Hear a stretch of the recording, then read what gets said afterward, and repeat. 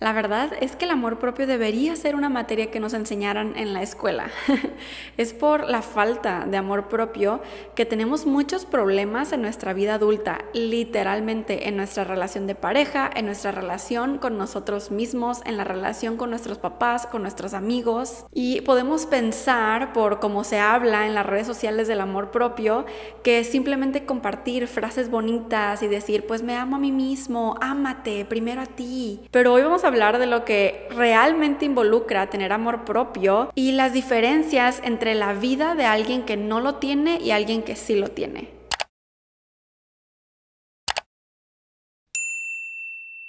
Bienvenido, yo soy Alejandra López, mucho gusto si no me conoces. En pocas palabras, la falta de amor propio es falta de respeto a ti mismo. Y ya sé, se escucha bien fuerte. Lo que pasa es que no nos educaron de esta forma, no nos educaron para tomar decisiones en la vida en base a nuestro amor propio. Entonces es normal que no sepas exactamente qué es y cómo involucrarlo en tu vida, o sea, no te sientas culpable por eso. Eh, lamentablemente lo que sí es que vivimos en una sociedad en la que si te respetas a ti mismo, pues eres sangrón, ¿no? Eres mamón, te crees mucho. Pero sin importar eso, cuando tienes amor propio, vives mejor, vives más feliz. El amor propio se refleja en absolutamente todas las áreas de nuestra vida porque está directamente relacionado con las decisiones que tomamos todos los días. Ok, hablemos primero del amor propio en relación con tu pareja, o sea, relación amorosa. Este es necesario eh, no importa si tienes pareja, si no tienes pareja, si estás casado, soltero, ¿cómo sabes que en tu relación no estás teniendo amor propio? Es aquí cuando te sacrificas a ti mismo, dudas todo el tiempo de ti mismo, cuando también dudas de tus decisiones o incluso cuando alguien más las, las está tomando por ti, cuando dudas de tu propio valor o cuando estás esperando que alguien más te dé tu valor. La falta de amor propio se ve reflejado cuando constantemente dejas que entren a tu vida personas que te manipulan, que te tratan mal, que te tumban y te controlan. O sea, si tú a veces te has preguntado, no manches, o sea, ¿por qué siempre mis novios son bien controladores? Son así, es porque tú no tienes estándares altos porque te hace falta ese amor propio para decir, ¿sabes qué? Ya me di cuenta de esto y yo no me merezco ser tratada de esta manera. Y, yo sé, es súper fuerte. Es como cuando entra una persona a tu vida para una relación amorosa, la forma en la que te trata y, tú aceptando eso es como si tú estuvieras diciendo, esto es lo que yo valgo. Cuando a alguien le falta amor propio, no sabe decir, ¿sabes qué? Yo merezco ser respetada.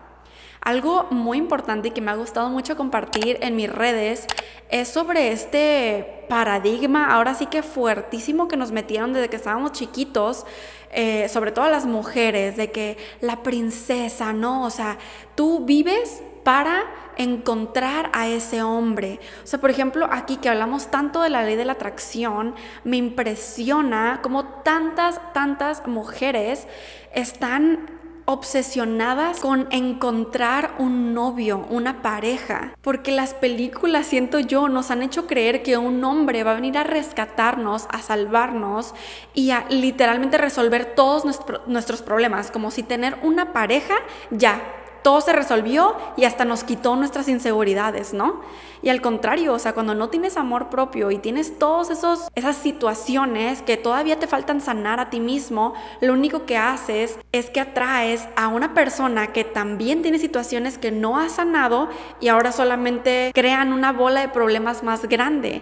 Y pensamos que una relación está ahí para que nos salve y para que nos sane. Y creo que este es como el primer error de la mentalidad que con la que venimos programados. Pensamos que somos como la media naranja de alguien más y vamos por la vida buscando nuestra media naranja, esa persona que nos va a completar. Y lo que tú necesitas saber, Fab, es que tú estás completa, completo por ti mismo. No necesitas absolutamente a nadie más para armar el rompecabezas que tú eres, porque tú tienes todas las piezas tú mismo. Con ellas naciste, con todas las piezas del rompecabezas. Otra persona no te da tu valor, tú mismo te das tu valor.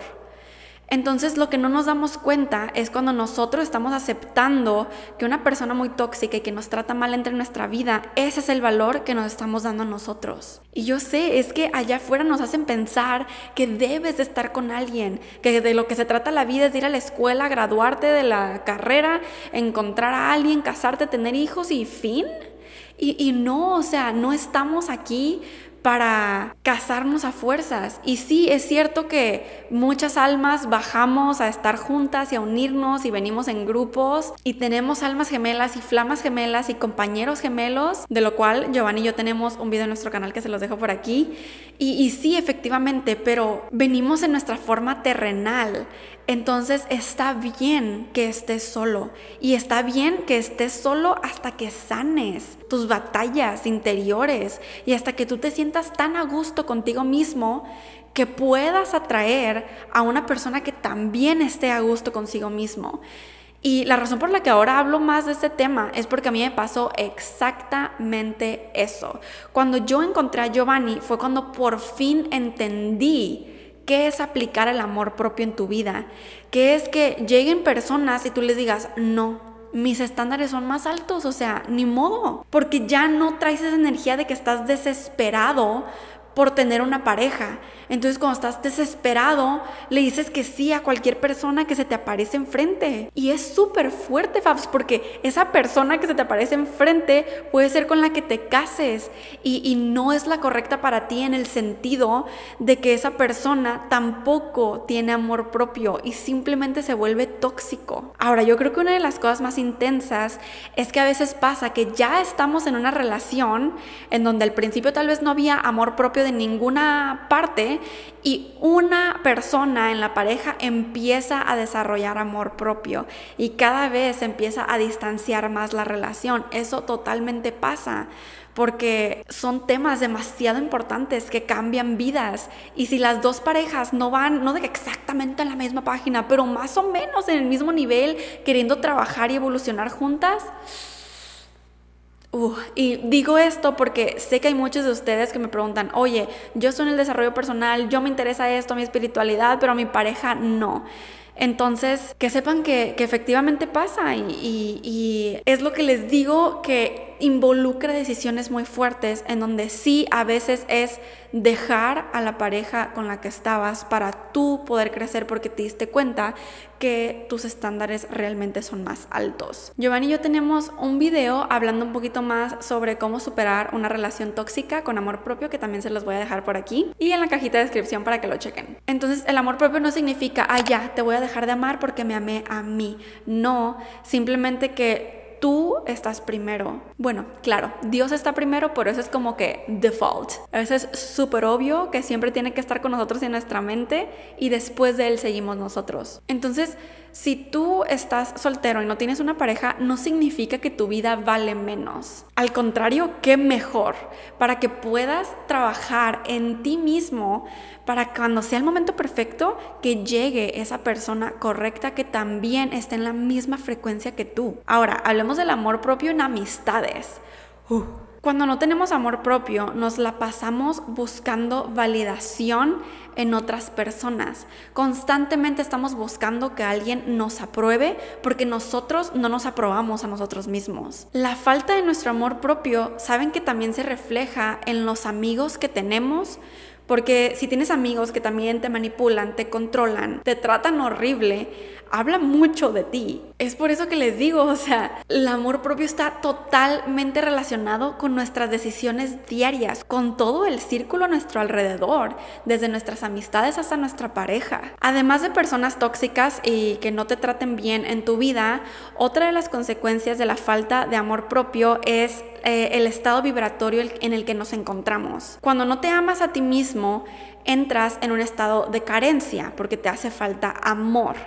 Entonces, constantemente tú traes esta bola de energía alrededor de ti de carencia, por lo tanto, ya sabemos cómo funciona la ley de la atracción, y tú atraes más de lo mismo. Por lo tanto, vas a seguir atrayendo a personas que también tengan carencia de amor y que de hecho hasta se alimentan de tu propia falta de amor. Ok, Ale, yo definitivamente quiero trabajar en mi amor propio. ¿Qué puedo hacer? Lo primerito va a ser un cambio de mentalidad que yo sé que lo hablamos muchísimo en este canal y es porque es lo principal, ya que estamos conscientes al respecto, al respecto, Ale, a E, I, O, U, al respecto de este tema, entonces ahora es empezar a cambiar nuestra perspectiva de las cosas. Hazte consciente de que desde ahora en adelante tú estás trabajando y aprendiendo sobre amor propio, que esto involucra decisiones y que hay cosas a las que antes decías que sí, que ahora vas a tener que decir que no. O al revés, cosas que antes decías que no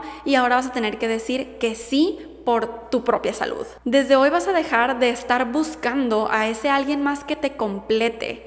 O sea, es cierto que el amor sana, pero el amor tuyo y el amor de Dios es el más poderoso que existe. Para que otra persona te pueda dar su amor por completo, tú primero te tienes que dar tu amor por completo.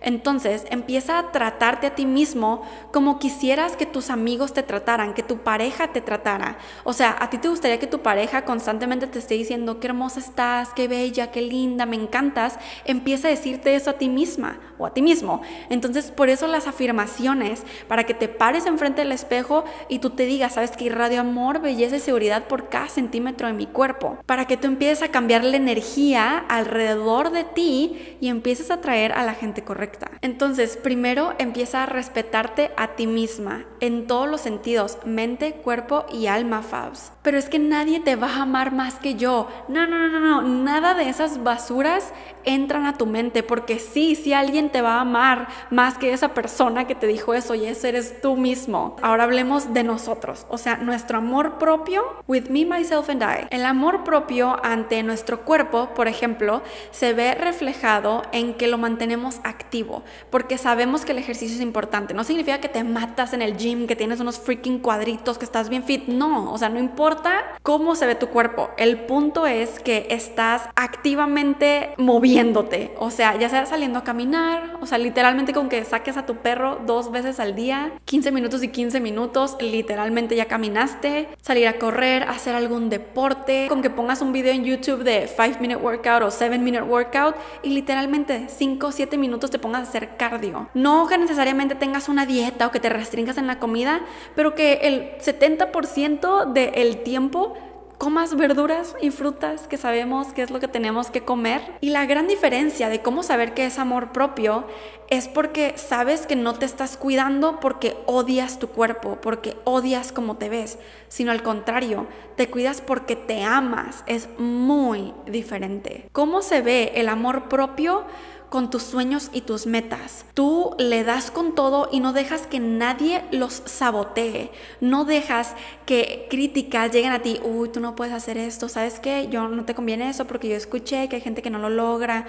Tú sigues literalmente sin ver a ningún otro lado porque confías en ti mismo. Cuando no tenemos amor propio, vivimos en automático, como, como en modo piloto. O sea, hacemos las cosas como robotcito por todas las influencias, por todo todo, todas las voces que llegan alrededor de nosotros porque no podemos tomar decisiones por nosotros mismos. Entonces vas por la vida sin deseos, sin motivación, sin ninguna intención y por supuesto que sigues atrayendo más de eso. Entonces está bien que te levantes y no todos los días te sientas hermoso. Wow, soy hermosa, radiante, no manches. O sea, eso no es amor propio. Amor propio no es todos los días tener buena autoestima y estar así como que soy la mejor. No. Por supuesto que la gente que tiene buena autoestima y amor propio, sí hay días en los que dice así como que, uy, esto de aquí no me gusta, la lonja, pero que no deja que eso lo derrumbe, no anda tirado por eso. Al contrario, sabe que tiene que seguir con su día y que tiene que seguir enfocándose en lo que está aquí y en lo que está aquí. Porque entendemos que hay cosas mucho más importantes que la verdad estar negativiándonos a nosotros mismos todo el día. O sea, no manches, hay gente que está pasando por situaciones súper difíciles y nosotros ahí viéndonos al espejo así como que, ay, pero es que no me gusto, estoy fea y fulanito me dijo qué tal No manches. Oigan, y de hecho me estoy acordando que pasó algo súper chistoso. Y es que yo estaba viendo videos de Isabel Palacios. Yo creo que muchos de ustedes saben quién es. Y decidí escribirle no sé qué. Y como a los cinco minutos que le escribí, Isabel se puso en vivo. Y yo, ¿what? O sea, una sincronía total. En el en vivo contó sobre que una persona le envió un mensaje así de que súper negativo criticándola de que por qué se había puesto cirugía plástica, que no se amaba a sí misma. Le dijo a Isabel eh, que eres una hipócrita, ya no eres la misma que antes y tú en tus redes sociales diciendo que nos tenemos que amar y tener buena autoestima y no sé qué. Y lo que Isabel contó es que ella le respondió así como que, bueno, en realidad no me he operado ni una sola vez, ni me he hecho absolutamente nada. Este, pero quiero que sepas que te mando mucho amor y disculpa que te sientas de esta manera y besos, ¿no? Entonces yo me quedé pensando, wow, wow.